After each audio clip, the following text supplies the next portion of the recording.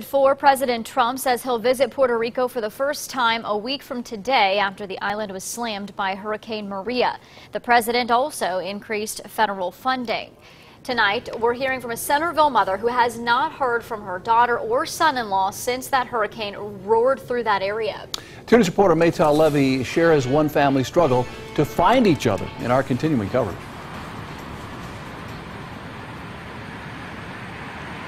I spoke with Diana Rangel. She lives in Centerville but has family stuck in Puerto Rico, like you mentioned.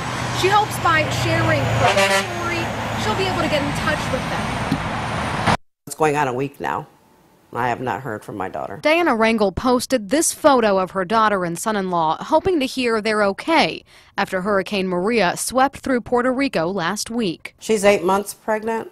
Um, yeah, really worried about her. Puerto Rico is facing a humanitarian crisis with a shortage of food, water, and gas. Gas is limited to only $10 a gallon if you can find a gas station that's open. Most of the island is without power and cell phone service. Zero communication.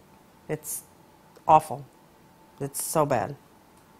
Can't even describe how we feel. Rangel has found comfort through social media sharing photos of her family and connecting with others online who are also searching for answers. On Facebook, we have posted pictures of our loved ones and where they're at and the town they're at, hoping for any information, and it's it's terrible. Earlier Tuesday, in a series of tweets, President Trump wrote, Texas and Florida are doing great, but Puerto Rico, which was already suffering from broken infrastructure and massive debt, is in deep trouble.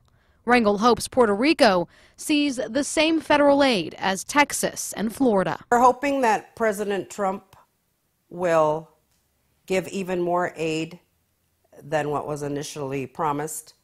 Once he sees what's going on over there, we are very hopeful.